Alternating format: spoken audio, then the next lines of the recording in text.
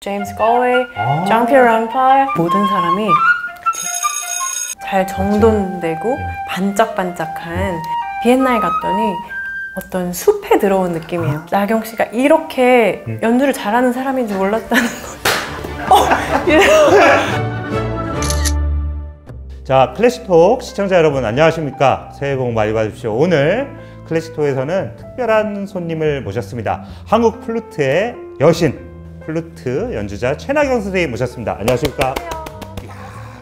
오늘 어디서 오셨어요? 오늘 뉴욕? 빈? 아 오늘은 호텔에서 서울 아, 오늘 서울에서. 오셨군요. 댁은 어디세요? 어, 저는 오스트리아 브레겐츠라는 데 살고 있고요. 브레겐츠에 멋진 호수가 있는데 거기서 매년 여름에 큰 오페라 축제가 열리는 그 도시죠? 호수 위에 오페라. 네. 이야, 처음에 오페라를 같이 그 오케스트라에서 음, 음, 비엔나 음, 심포니랑 연주를 하러 갔어요. 음, 갔다가 이제 어, 거기에 있는 사람과 사랑에 빠져서 오. 그 길로 눌러 앉았어요. 브레겐츠가 좋아서 브레겐츠에 살고 계신 그러면 나경채가 딱 가면 사람들이 다 이렇게 네, 다 알아요. 그래서 한국인이 저밖에 없거든요. 네. 그렇군요. 네. 호숫가의 플루트 여신을 모시고 오늘 이야기를 풀어가겠습니다.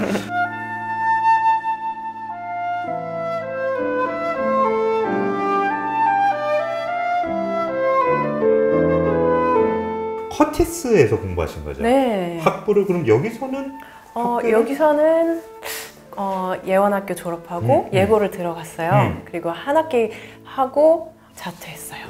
그럼 고등학교 1학년 1학기 끝나고 바로 미국으로 가신 거군요? 네. 그러면 굉장히 일찍 그러면 커티스에 들어가셨겠네요? 학교를? 어, 사실은 커티스를 시험을 봐서 간 게 아니고요. 음. 16살이었는데 음. 일반 고등학교에 간 거예요. 음. 근데 갔더니 저는 음악을 배우고자 하는 그 꿈 하나로 왔는데 제가 예고에 있다가 일반 고등학교에 오니까 아, 미국의 일반 고등학교. 네, 아, 내가 더 큰 세상을 바라보면서 왔는데 더 작은 학교에 갇혀 있는 음. 느낌이 드는 음. 거예요. 그래서 아, 이 학교에 2년을 더 다닐 수는 없을 것 같고 그래서 알아보던 중에 커티스라는 곳이 음. 그 고등학교 졸업장이 없어도 어, 오디션을 볼 수 있다는 거예요. 그래서 난 여길 가야 되겠다. 음, 근데 음. 알아보니까 한 명만 뽑는다는 거예요. 그 해에. 그 해? 네, 어. 그래서 그때 정말 네. 입술이 부르트도록. 아 그때 막 밤새는 적도 있고 어. 되게 간절했어요. 나는 지금 올해 이 한 명에 들지 못하면 음. 이 학교에서 2년을 더 버텨야 돼. 그 다음에 줄리아드 가신 거죠? 그 다음 줄리어드에서. 이야. 네. 미국의 굉장히 유명한 악단이죠. 신시내티 심포니에 입단을 하셨어요. 그게 스물 음. 몇살 때죠? 그때 22살 때였는데요. 그럼 줄리아드 마치고 네 커티스를 일찍 들어갔으니까 음흠. 졸업도 일찍 하고 석사도 주- 줄리아드 일찍 들어가고 했는데요. 이 오디션이 딱 처음에 생겼을 때 아 난 첫 오디션이니까 어, 즐겁게 가서 하고 오자. 뭐 근데 불러. 와 너무 감사하게도 음. 거기에 된 거예요. 오히려 마음이 편하게 연주해서 퐁당 퐁당 때문에 플루티스트가 됐다? 이거 뭐예요? 이거 어떻게 하셨지? 초등학교 3학년 때 음. 음악책에 리코더를 부는 게 있어요. 그럼 도레미미 도미 솔라솔 아, 이렇게 그렇죠. 음 몇 개만 알면 되잖아요. 동네 친구랑 같이 사서 음. 둘이 연습을 하는데 얘는 좀 어려워하는데 저는 막 너무 쉬운 거예요. 아, 음표가 달라 네, 거예요. 이제 거기에서 이제 막 자신감이 붙기 시작한 것 같아요. 도레미미 도미솔라솔. 어. 어 이렇게 쉬운 음. 또 재밌는 악기가 있다니 음. 하고서 어, 그 숙제가 다 음. 지났는데도 음. 그걸 가지고 제가 알고 있던 멜로디를 다 리코더로 아. 하기 시작했어요. 음. 네. 전원일기도 있었다면서요? 네, 자, 저는 저, 전원일기 어떻게 부는 거예요? 아빠가 전원일기를 항상 보여줘가지고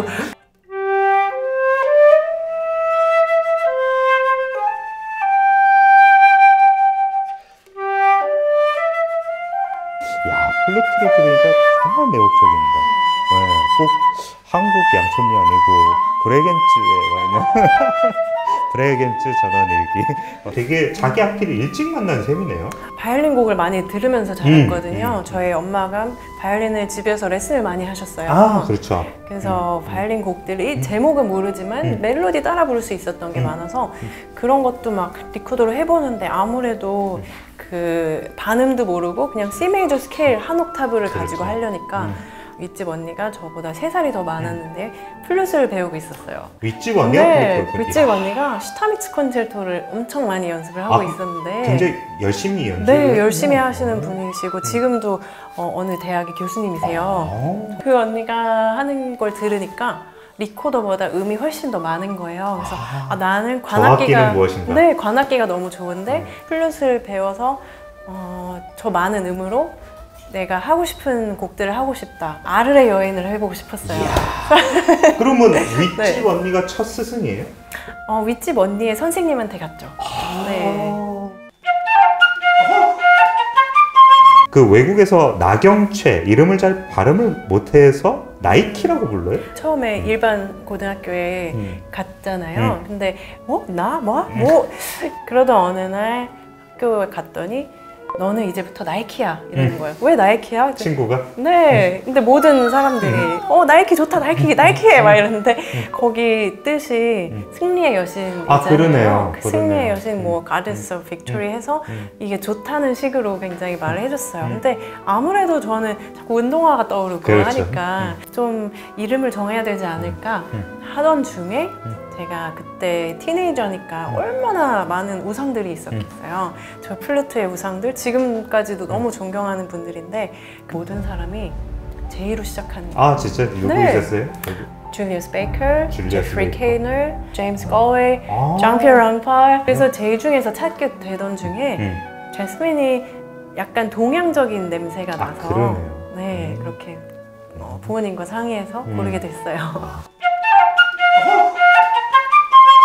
줄리어스 베이커라는 플루트의 전설이죠. 네, 네. 마지막 제자 중에 한 분이셨다고 제가 하는데 마지막이었어요. 왜냐면 하- 1년에 한 명씩 뽑았으니까. 아 그러네요 아까 전에 네, 음. 그때도 나이가 꽤 있으셨죠? 그때 제가 16살이었고 음. 처음에 뵀을 때 음. 여든 세이셨는데 그때도 제가 안 되는 게 있으면 제 악기를 이렇게 가져다가 휘리릭 다 불어주세요. 음. 아 여든 네. 할아버지가 네가 다섯 배 가 나보다 어리니까 다섯 배를 더 잘해야지 되는 게 맞다. 이야 이렇게 말씀하시면 이제 집에 와서 "헉, 나는 뭘까? 그러네요.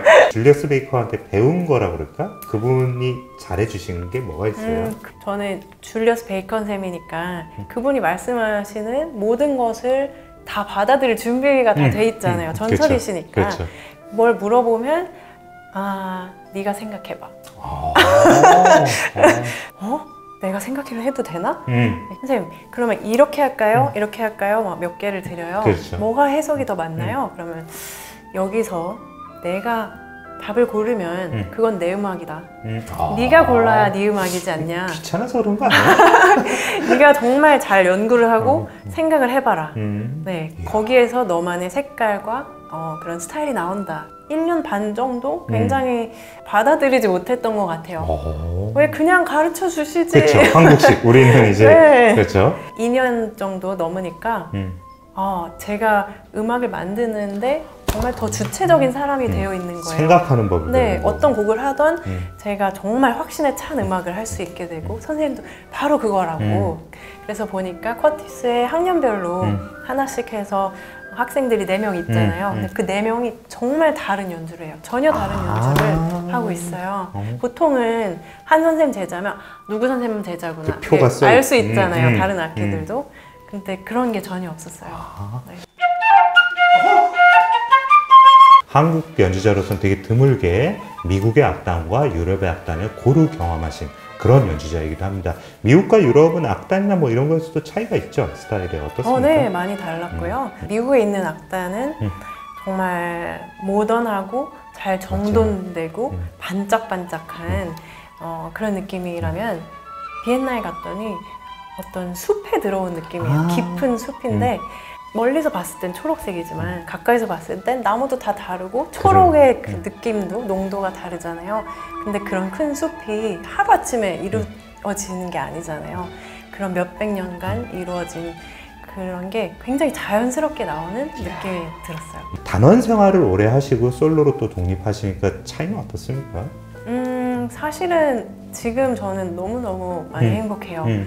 어, 이렇게 솔리스트로 다니고 하면서도 뭐 실내악도 할 수 있고 실내악 페스티벌도 자주 가고 음. 또 게스트 수석으로도 많이 하거든요. 아, 그래서 음악의 폭이 더 넓어졌다고 음. 생각하고요. 음. 솔리스트 생활을 하면서 보니까 이제 샐러리가 없잖아요. 음. 가만히 있어도 월급이. 나오지 않고 가만히 있어도 스케줄이 이렇게 나, 나에게 오지 음. 않잖아요. 의자에 음.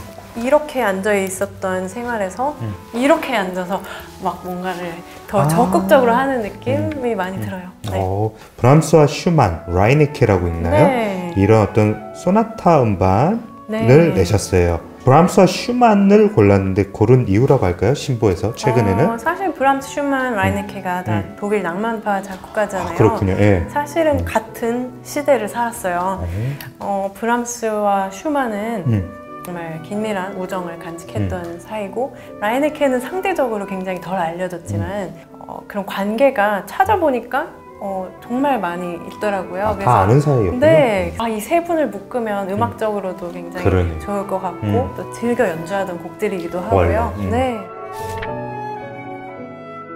크로스오버라고 하나요? 네. 그런 작업도 많이 하시는 거죠. 네네. 시스네리 팍스 있잖아요. 음. 그때는 재즈랑 뭐 어, 뮤지컬 음악, 팝스 이런 걸 연주하면서 어, 좀 간지럽다, 좀 민망하다 음, 이랬어요. 음. 근데 한 몇 달 지나니까 너무 좋은 거예요. 음. 그래서 이제 막 그루브 타고 음. 하다 보니까 끼를 어? 발산하기 시작했군요. 네, 어? 나한테 잘 맞는데 음. 이렇게 된 거예요. 이렇게 스타킹이라는 예능 프로그램에 두 번 출연하셨나요? 네, 그랬던 것 같아요. 이야, 벌써 그- 10년 전이에요. 아? 뭐 대금 같은 소리 낼 수 있어요. 어. 그래서 그 때뭐 아리랑 같은 걸 했나? 음. 음,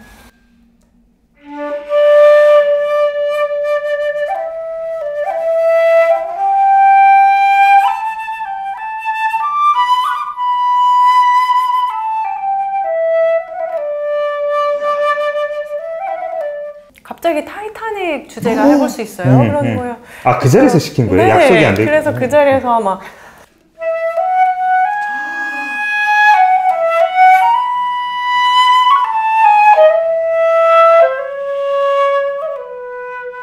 방송이 끝나고 놀란 거는 원래 알고 있던 지인들이 음. 다 연락이 와서 음. 아 타이타닉을 들으면서 음. 느꼈는데 나경 씨가 이렇게 음. 연주를 잘하는 사람인 줄 몰랐다는 거. 그래서 그게 저는 제일 신기했어요. 아, 방송의 힘이라는 게. 아, 지- 빈 물병을 푹 불면 소리 나는 그런 아. 컨셉이에요. 아, 여기는 어, 다이아몬드예요.